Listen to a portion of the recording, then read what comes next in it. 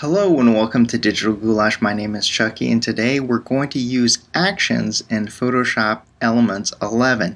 Now if you have version 10 or older, I'm sorry you can't do this, but they did add actions in Photoshop Elements 11 and these are the cool things that you're going to be able to do with it. You're going to give a picture a shadow that makes it look three-dimensional and there's also another one right here where you can turn a picture into a fan. Now I want to thank first of all the PanosFX company right there, they will give you free downloads under the free Photoshop actions. There's all sorts of great ones in there that you can download and I'm going to show you how to upload the actions into Elements.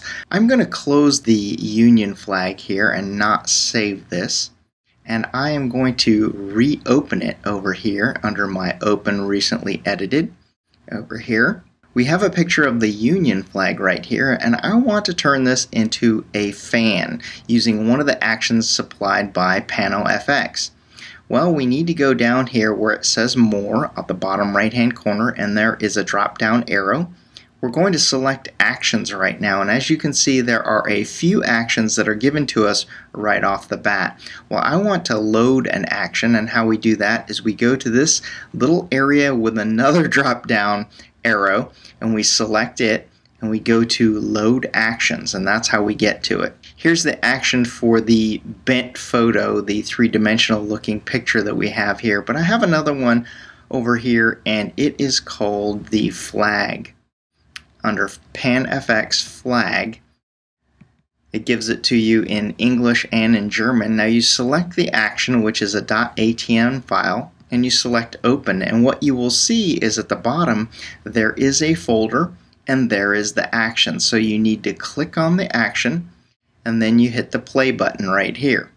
It's going to give you some instructions and you need to follow these instructions carefully depending upon which action you download. I'm going to select continue and then I'm going to fast forward this.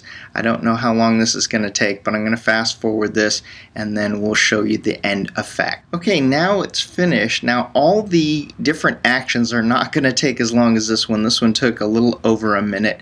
Most of them have instructions and they take a little bit less than 15 to 20 seconds. So I'm going to hit stop right there so that you can see the little fan that we have here and it was really great because I didn't have to do anything except load the action. Now if you like that one let's go back to the other one. I'm not going to save that from Melissa Miller. I'm going to close that one out and then I'm going to reopen that from scratch. And I want to thank Alyssa Miller over at Flickr for letting me use this photo using the Creative Commons license. This is a great photo here. I love using it. I'm going to add another action over here. If you don't have the actions palette, once again, you can go down here where it says more, click the drop down arrow and select actions right here. Once again, there is another drop down. This is where a lot of things are hidden from Adobe. If you click the down arrow here, we're going to load another action. That one is in my downloads area. Now when you download these from PanosFX, they are going to be in zip format. You'll just have to unzip them. It's in a compressed format. And then after you unzip them, they will be in this file folder structure here. Now I'm going to select border and bend. And as you can see, there are a different set of border and bends. One is convex, concave, and then there's three other ones that are in there that give you that three-dimensional effect. But I really like this discrete one. I'm going to select play right here.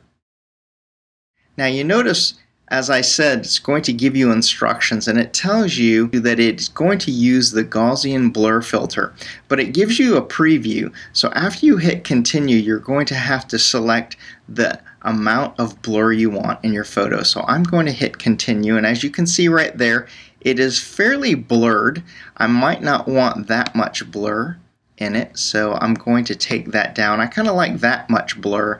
I'm at about 7.7 and then I'm going to select OK and then when it's done it gives the little splash screen saying that who it's by and there we have it. So there's a lot of great different effects that you can use by going over to Panos FX. They also have some paid ones, but I'm, right now I'm showing you the free ones. If you haven't done so already, please subscribe to my videos, give me a like, give me a thumbs up, and pass my video on to your friends. Cheers!